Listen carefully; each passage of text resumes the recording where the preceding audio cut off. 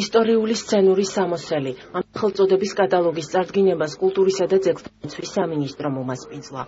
კრებული მე-20 საუკუნის ცნობილი ქართველი მხატვრების ესკიზებზე შექმნილ კოსტიუმებს აერთიანებს თეატრალური სამოსი, რომელიც წლების განმავლობაში ლეგენდარულ მსახიობებს ამშვენებდა, ახლა უკვე ალბომის სახით გამოიცა.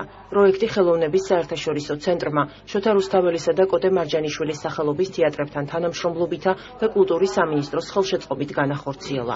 აღსანიშნავია ისიც, რომ კატალოგში მოხვდა ერთადერთი ამოუცნობი კოსტიუმი, უნიკალური მოსასხამი, რომელიც რუსთაველის თეატრის საცავში აღმოჩნდა და დღემდე მისი იდენტიფიცირება ვერ მოხერხდა.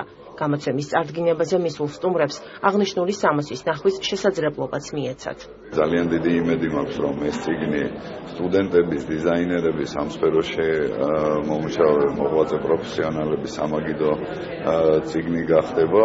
ასევე მინდა ძალიან დიდი მადლობა გადავუხადო ძალიან დიდი შრომისთვის ხელოვნების საერთაშორისო ცენტრს, ასევე მარჯანიშვილის და რუსთაველის თეატრებს, რომლებიც ძალიან აქტიურად იყვნენ ჩართულები ამ პროცესში და ნუ ბუნებრივია რომ კულტურის სამინისტროს და თბილისის მერიის მხარდაჭერით განხორციელდა ეს პროექტი. მიზანი აი ამ პროექტის იყო რომ მომხდარიყო იმ კოსტუმების იდენტიფიცირება, რომლებიც ინახება რუსთაველის და მარჯანიშვილის თეატრის საცავებში.